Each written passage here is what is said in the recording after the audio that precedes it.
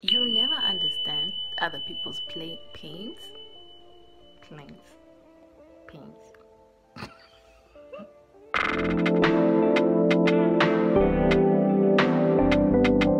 Hi guys, welcome to my channel.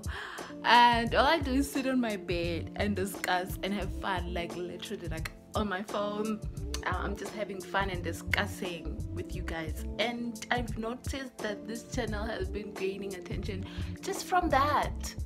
Just from that. Nothing hectic, no paddle, like just holding my phone and like way guys i appreciate you love like i appreciate your love and support but that's a video for another day i'll make that um, appreciation video another time but i wanted to get into this uh, woman's story and i was touched by it and i wanted to put it out there for people to know about what's happening in africa and to people to just learn and hear this woman's story so let's just listen to the story. I have nothing to add but to say let's add let's just let's do that.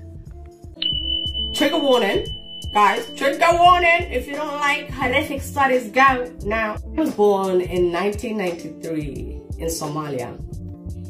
At the age of six years old, along with my five-year-old cousin and my seven-year-old sister, we were told that we were gonna have a procedure called guditan we didn't know what it was. But we were told that it was something to look forward to. It was, you know, you're going to become a woman, more respected, cleaner.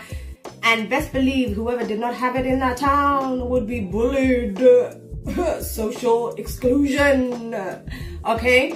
So we were like, I ain't about that life. They used to call girls who didn't have it um, uh, clitoris. The girl with the clitoris it was just dirty. The clitoris was just considered dirty, okay? So, I was taken to my grandma's house, yeah? This is me. Um, my five-year-old cousin and my seven-year-old sister. There was a woman there, a strange-looking woman, sat down on a stool. There was another stool next to her. And my cousin went first. Again, we were really excited, yeah? Free, when they're free out of our own free will. When my cousin was taken to the chair, they held every, it was like war, war. They all started grabbing limbs, holding her down, and then spread her legs wide open. And the first thing they did is they use something like this. They used a double-sided razor, right? The cutter, like this. And she cut her clitoris. She cut her labia uh, minora and she cut her labia majora. I was like, what the fuck is this? So, bitch like me ran. I was dragged back. And then I had to watch her get sewn together. Then they uh, tied her legs together, put her to the side. And then it was my turn. The cutter took that double-sided uh, double razor, cut my clitoris, cut my labia, cut my labia minora, labia majora, and then sewed me up. The feeling of being sewn alive, awake, is something I will never be able to describe as a six-year-old child with no anesthetics, no painkillers, I can't even begin to explain. But that is female genital mutilation. When I say I was sewn together, when I say I was cut, and you want to see what it actually looks like, The clitoris hood is supposed to be here. The clitoris is supposed to be here. Yeah. This is the hole that they leave for you urination. They sew you tight all the way down, leaving a small hole for period flow and penetration. They remove the labia minora and they remove majority, if not all, of the labia. Majora. So for 26 years, 25, 26 years, this is what my vagina looked like. This is the life of over 200 million women.